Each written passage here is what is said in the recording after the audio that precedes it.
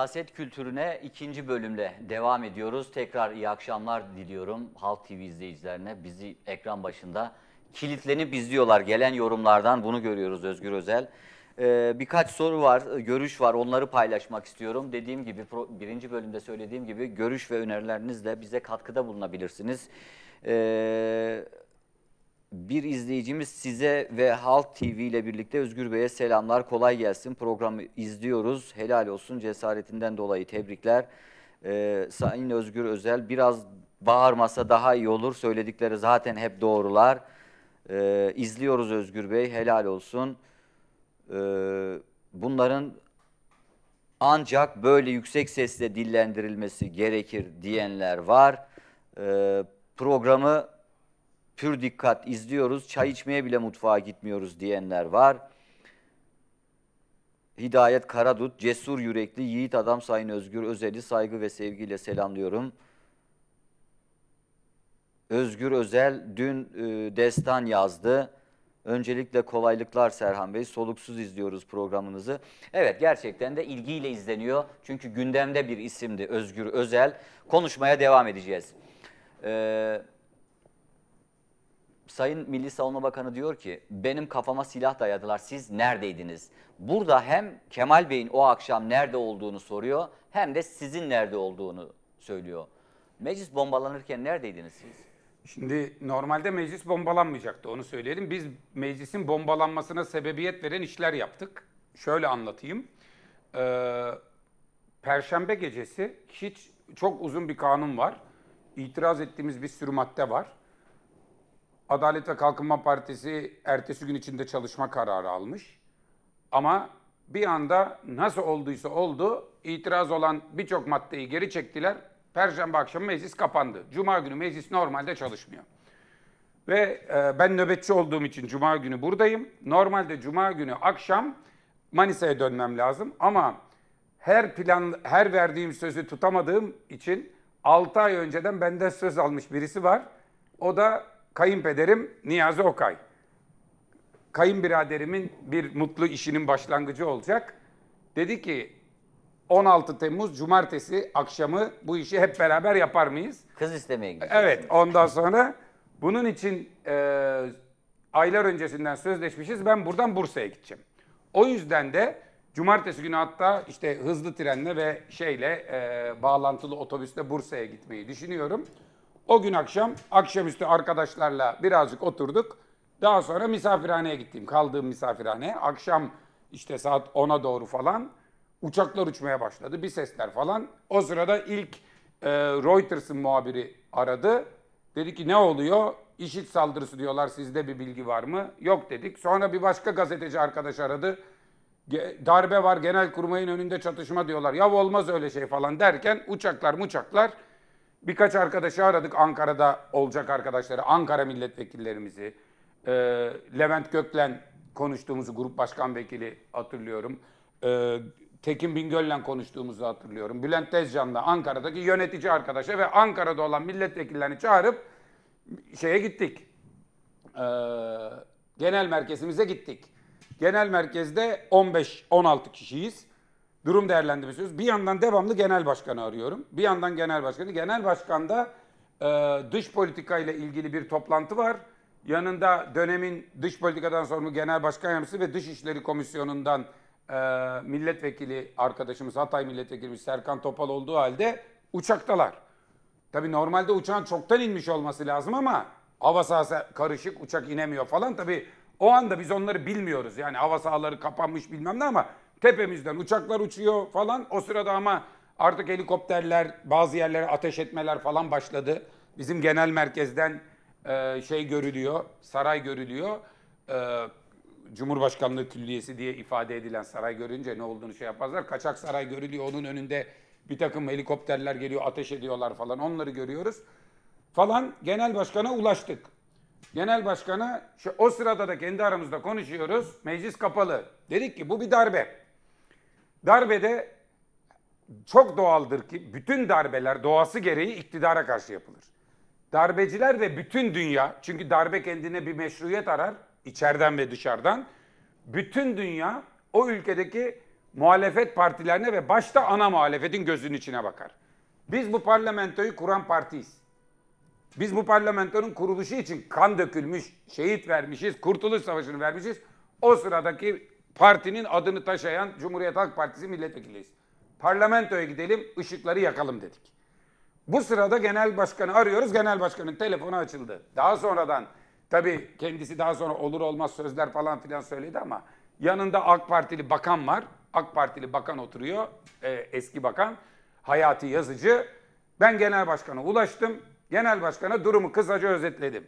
Ve dedim ki o da biraz önce gördüm dedi. Ben haberiniz var mı dedim. Çünkü devamlı arıyoruz. Ee, uçaktaki tahmin ediyorum Okan Bey e, basın müşavirimiz kendisine cep telefonundan vermiş.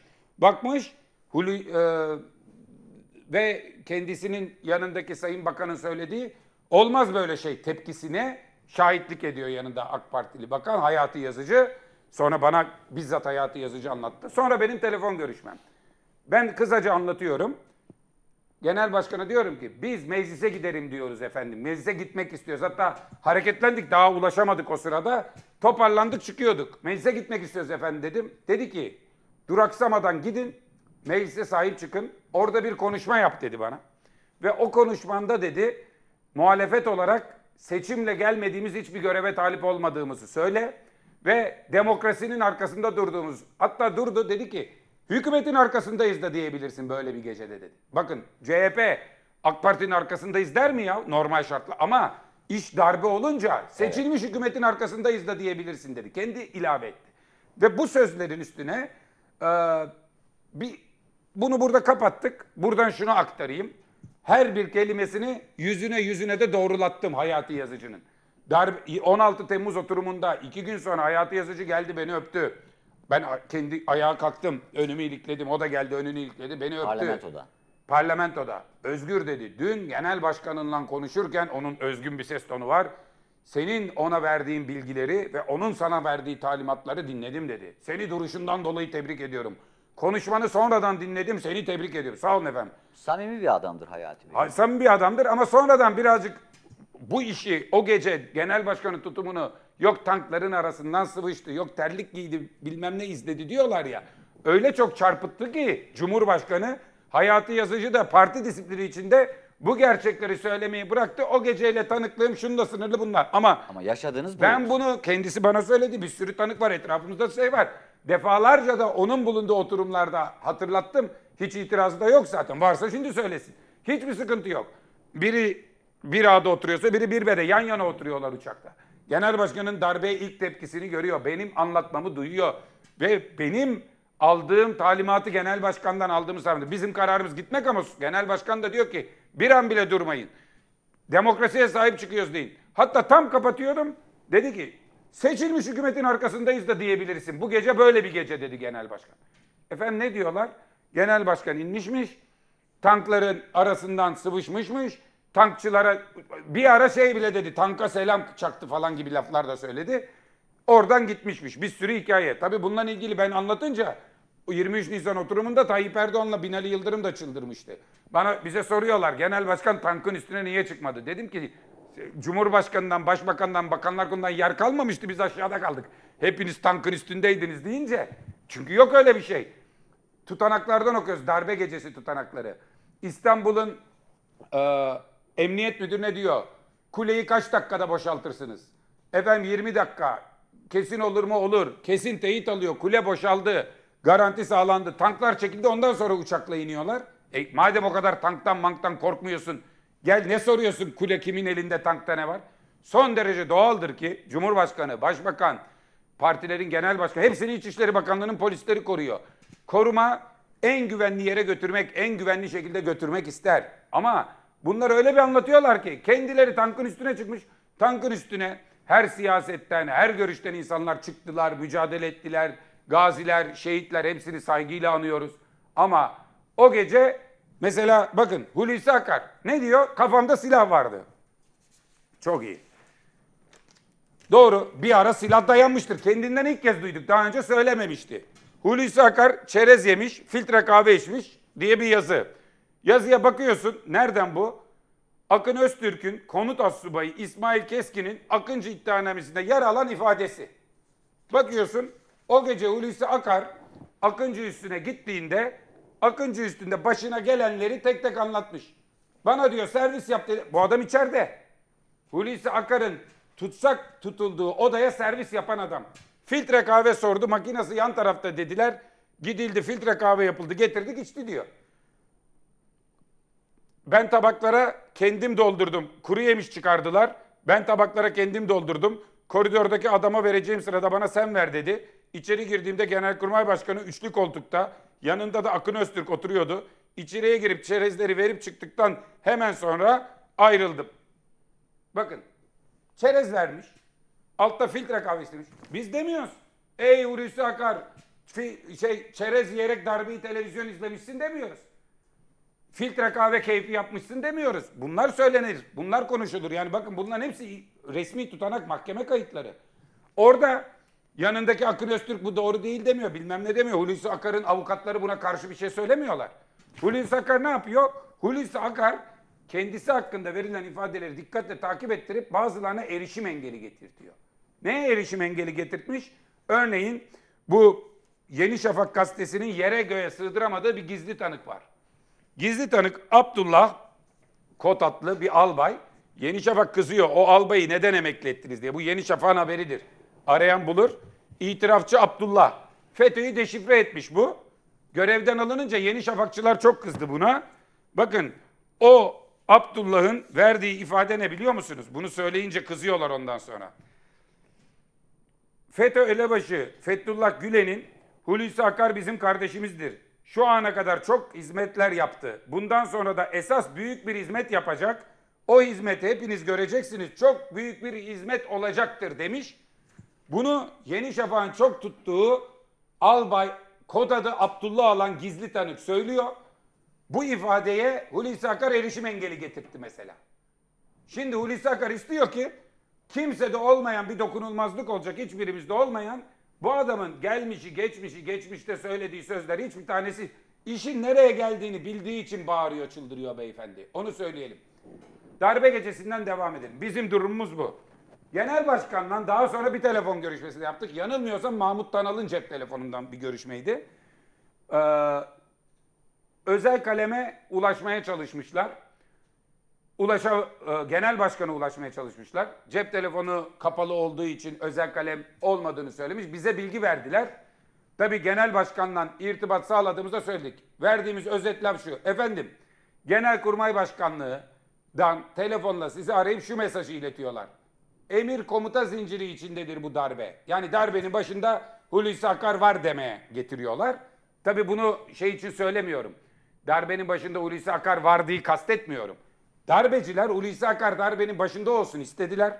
Onu zorladılar, ikna edemediler. O süreçlerin hepsi konuşuldu.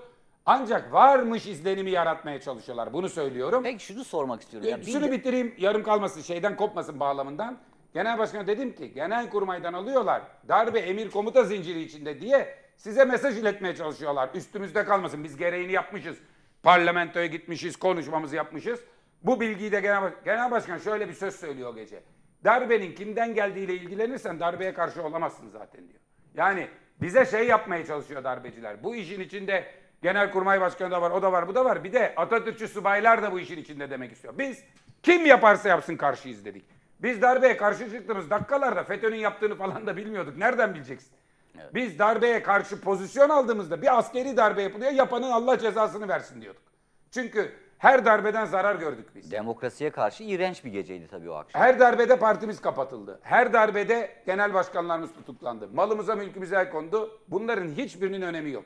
Bu bedeller ödenir. Evet. Ama esas ne oldu? Her darbede Türkiye 30 yıl geri gitti. Her darbeden sonra da darbeciler sözde Atatürkçülük yaparak Atatürk sevgisini yozlaştırdılar, istismar ettiler, gardırop Atatürkçülüğü yaptılar ve gerçek bir Atatürkçüğün istediği gibi bir nesil yerine bugün bu adamların istediği gibi bir nesil yetiştirmeye çalıştılar.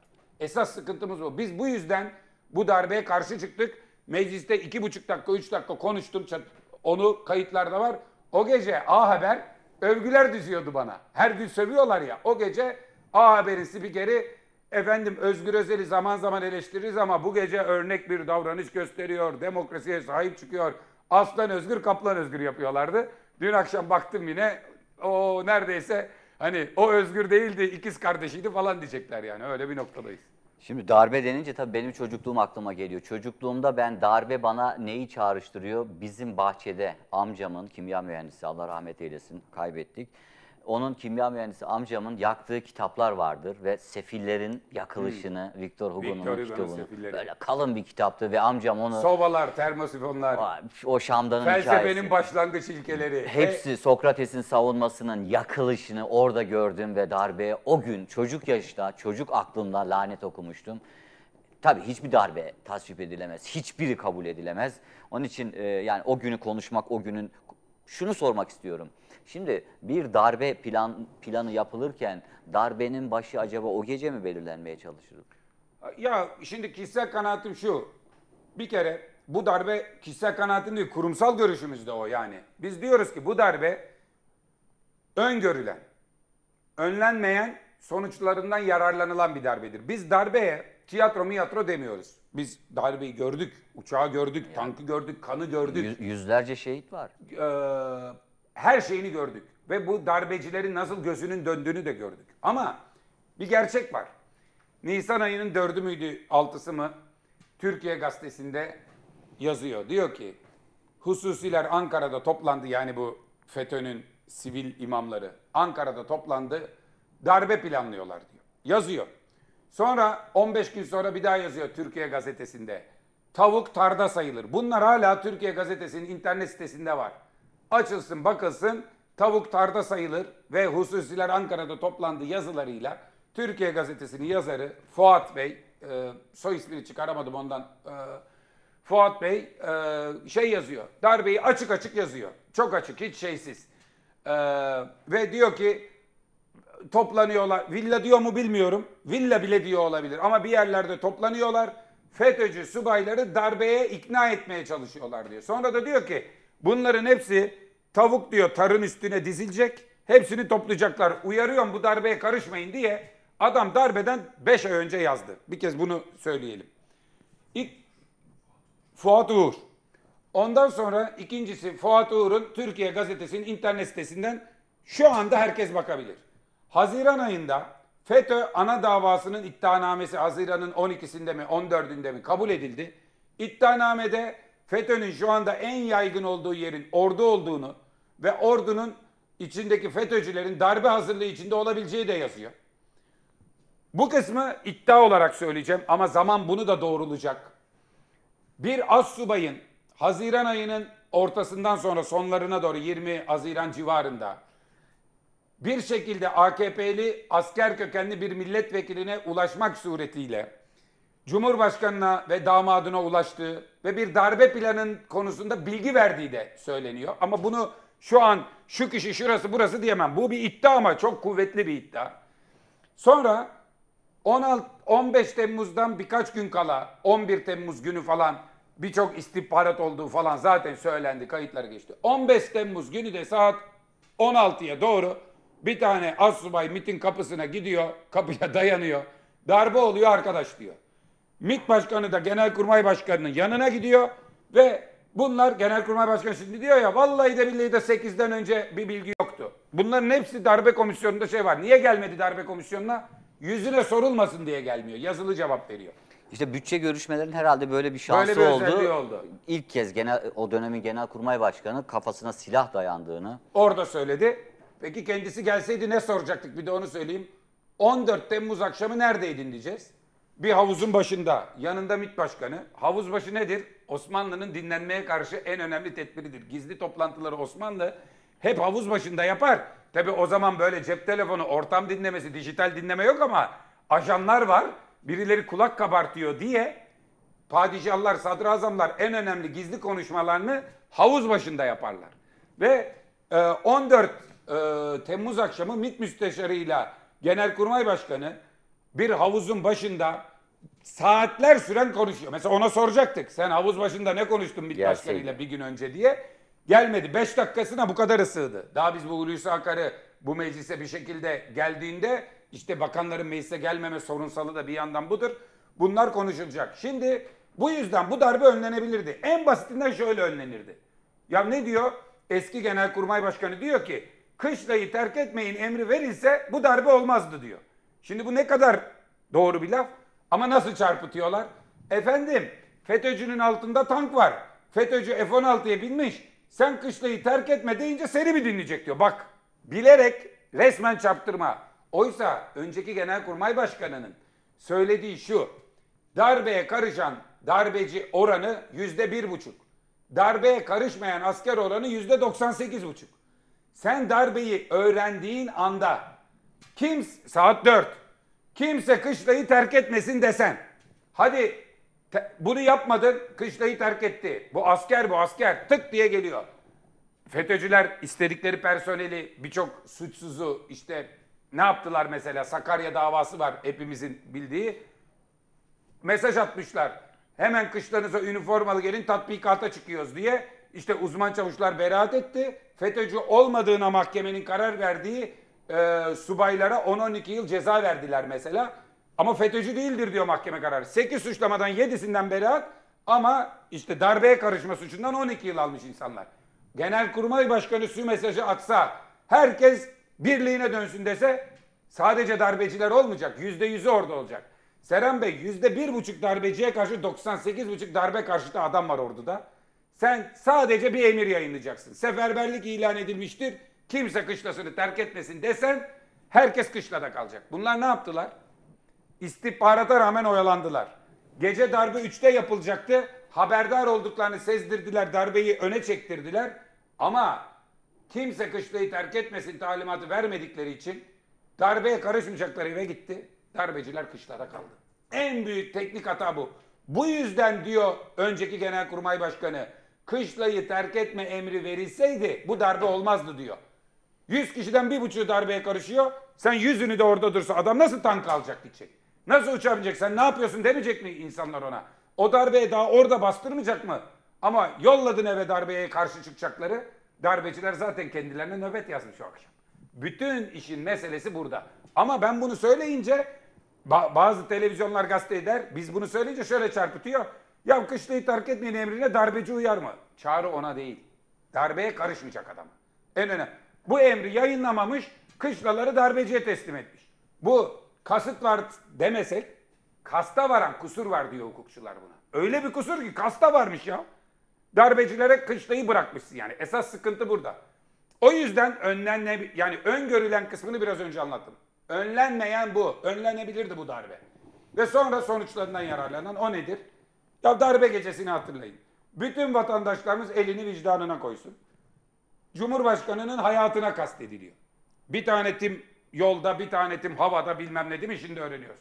O da biliyor herhalde darbenin bir numaralı hedefi her zaman için Cumhurbaşkanıdır. iki numaralı hedefi Genelkurmay Başkanı'dır. Genelkurmay Başkanı'nın derdest edilmiş bilgisi var kendisinde. Çıkıyor açıklama yaparken diyor ki bu Allah'ın bir lütfu olabilir. Bu bir kere çok sıkıntılı bir laf. Ama 20 Temmuz günü 15 Temmuz darbesini Allah'ın bir lütfuna dönüştürdüler. Ne yaptılar? Biz hepimiz darbeye karşıyken bütün meclis o hal ilan ettiler. Ve o hal ilan etmek suretiyle ülkedeki bütün özgürlükleri kaldırdılar FETÖ. Oysa biz onlara şunu demiştik. Biz hepimiz darbeye karşıyız. Gelin bu meclisi FETÖ'cüleri her yerden temizlemek ama hukuktan ayrılmamak üzere kullanın demiştik. Onlar FETÖ'cüleri temizlemenin, mücadelenin onurunu, şerefini, siyasi getirisini ve liyakat sistemi kurmanın riskini yani siyasi getirisini paylaşmak istemediler. Liyakatlı bir sistemi de kurmak istemediler. Ne yaptılar? Liyakat yerine sadakata baktılar. FETÖ'cüden boşalan her yere AKP'li koydular. 4000 tane savcı attılar. Yerine savcı alırken mülakat yapıyor. Mülakatta 91 puan alan çocuk yerine 70 puan alan adamı alıyorlar. Ne sayede alıyorlar bunu? AKP'ye bağlılığına bakıyorlar. Geçmişte AKP'ye üyeliğine bakıyorlar. Ailesinin bağlılığına bakıyorlar. MİT'e soruyorlar bakıyor. Ama Aleviysen, solcuysan kesinlikle hakim savcılık sınavında çakıyorsun. O yüzden 20 Temmuz sivil darbesi dediğimiz o hal dönemi ve şimdi devamı FETÖ ile mücadele pratiğinin siyasi getirisini paylaşmak istemeyen AK Parti'nin FETÖ'nün yerine boşalacak yerlere liyakatli atamalar yapılsın talebimize karşı sadakatli AK Parti'ye sadakatli atamalar yapmak için bu işi kullanmasından başka bir şey değildir. Yoksa biz 15 Temmuz'a tiyatro miyatro diyen yok. Diyen de yanlış söylüyor. CHP'de bir CHP üyesi 15 Temmuz tiyatrodur diyorsa yanlış söylüyor. Karşısında beni bulur. Genel başkanımızı bulur. Biz açıkça söylüyoruz. Kanlı bir darbe girişimi. Hain bir darbe Evet, girişimi. evet. Ama bu darbe girişimi öngörülebilirdi, önlenebilirdi. Sonuçlarından böyle yararlanmak yerine yepyeni bir Türkiye inşa edilebilirdi diyoruz. Darbeye tiyatro demekle sen bu darbeyi gelişini görmedin, engel olmadın, sonucundan da yararlandın demek arasında dağlar kadar fark var. Bunu açıkça ifade etmek gerekiyor.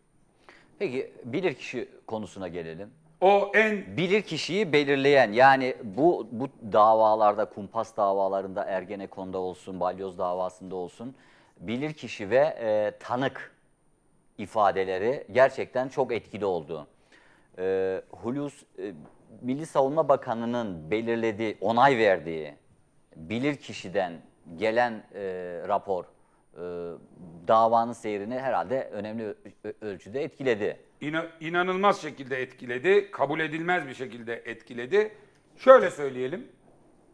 Ben Veli Ağbaba, Nurettin Demir ve Muharrem Işık CHP Cezaevi Komisyonu. Siz bütün cezaevlerini bu süreçte özellikle Veliağa Baba değil mi? Yani herkesle gitti, herkesle Veli omuz verdi. kaptanlığında 4 kişilik bir heyet olarak biz ne yaptık? Pozantı cezaevinde çocuk istismarı, işkence ve te- çocuk tecavüzlerini duyduk. O cezaevini bastık.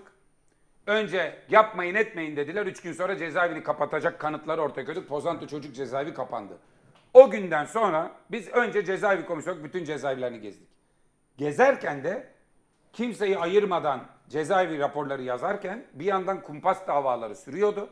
Davaları da takip ediyorduk. Sonra o davalarla o davaların mağdurlarının cezaevindeki durumlarını da araştırmaya başlarken kumpas davaları konusunda uzmanlaştık. Bakın hatta Halk TV'de harika kitaplar var. Böyle harika yazarların şeyleri. Bu da bizim kitabımız. İzleyiciler alsın kitaplarımızı. Şimdi bu Bizim kitap- onların des- burada desteğine Halk TV'nin. Halk TV'nin bütün kitapları alınsın. Halk TV'nin desteğe çok ihtiyacı var.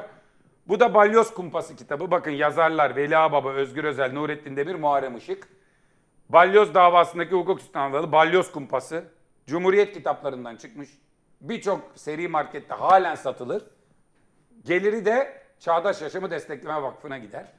Bu kitap AKP'liler balyoza darbe derken biz kumpas. Hani bütün Türkiye şimdi kumpas davaları diyor ya. O ismi takan biziz. Biz değiliz. Hastal ve Hadımköy cezaevlerinde yatan balyoz tutukluları bize kumpas kuruldu dedi. Biz manşeti oradan attık. Ama zaten davanın ilk çıktığı, Ergenekon'un ilk çıktığı dönemde CHP'nin o dönemki genel başkanı Deniz Baykal Şimdi- tereddüt etmeden Şimdi onu avukatıyım dedi. Bu deli saçmasıdır dedi. Geri zekalıları bile inandıramazsınız Bu balyoz. böyle bir davaya dedi. Bu balyoz ondan Ergenekon, sonra. Ergenekon'dan Ama sonra. Ergenekon, şimdi ben geçen hafta Uğur Dündar'ın programında söyledim. Sevgili Genel Başkanımız da ertesi gün nezaket gösterdi. Sayın Deniz Baykal beni aradı. Ee, ve önemli bir tespit olduğunu söyledi. Teşekkür etti. Bu şahsıma yapılan bir vefakarlık değil. Cumhuriyet Halk Partisi'nin çizgisini koymak açısından önemlidir dedi. Çok duygulu bir konuşma yaptık. Buradan bir kez daha kendisini saygıyla O kadar iyi sevgiyle takip analım. ediyor ki Türkiye'nin gündemini, dünyanın Şimdi- gündemini. Yanına gittiğin zaman bir, zaman zaman gidiyorum ben. O kadar güzel anal- analizler yapıyor ki, tahliller yapıyor ki. Ya, seni araması da e, işte bir gün önce o programı izlediğini ortaya koyuyor. Evet evet izlemiş ve çok net olarak ortaya koymuş. O programda söylediğimizi burada bir daha siz hatırlattınız teyit edelim. Ergenekon'un iki tane savcısı vardı. İki türde avukatı vardı. Savcılardan bir tanesi cübbeli savcıydı. O Öz'dü. Zekeriya Öz. Bu Ergenekon'un savcısı Zekeriya Öz'e karşı bir tane daha savcı vardı. O Zekeriya Öz'den boyca uzun, kilo olarak daha zayıf, siyasi savcıydı. Ne diyordu? Ben bu davanın savcısıyım diyordu. Recep Tayyip Erdoğan. Ergenekon davasının... Çekilin diyordu. Çekilin bu davanın önünde. Temiz Çekilin eller davanın operasyonudur bu. Evet. Bu davanın iki tane de avukatı vardı.